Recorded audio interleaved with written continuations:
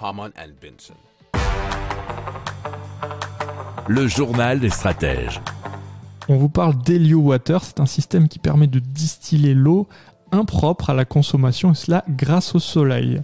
Alors, ces deux inventeurs ont utilisé l'énergie solaire et surtout le principe de la distillation.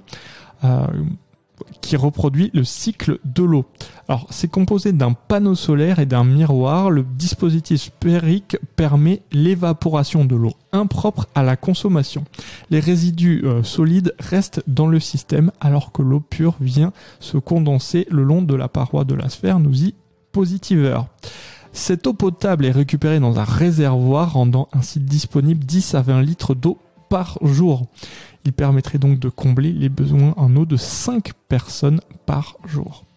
Si vous aimez cette revue de presse, vous pouvez euh, vous abonner gratuitement à notre newsletter qui s'appelle La lettre des stratèges, LLDS, qui relate, et cela gratuitement, hein, du lundi au vendredi, l'actualité économique, technologique, énergétique, mais aussi de l'hydrogène, et puis de tout ce qu'on trouvera super intéressant pour votre vie.